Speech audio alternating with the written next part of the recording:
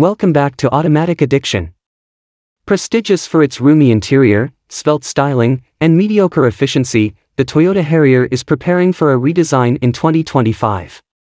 The Harrier 2025, the fourth iteration of this adored midsize SUV that debuted in 2020, promises diversity.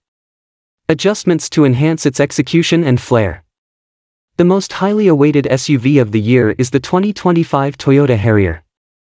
The Harrier's unique blend of performance, refinement, and cutting-edge technology keeps it setting the standard for the SUV class. The 2025 Harrier will receive minor but meaningful cosmetic changes to its front and back while keeping its elegant and sophisticated style. Anticipate updated headlight, visor, and grille designs that give the SUV a striking, modern appearance. You can expect modifications to the tailboard and taillights at the back to further enhance the ideal appearance and feel.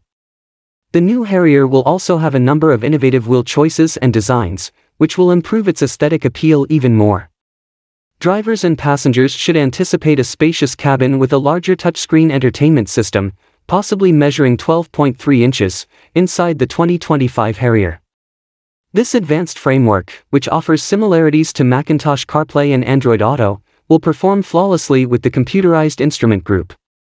In-car Wi-Fi will make networking simple, and for added convenience, cars will feature remote phone charging. A 360-degree camera, a head-up display, heated back seats, and a panoramic sunroof are among the other amenities within. This resort will have a large assortment of stockings, high-quality materials, and an ambience of comfort and sophistication. Larger touchscreens in test results for the most recent Harrier facelift point to a significant innovation that will improve the car's interior.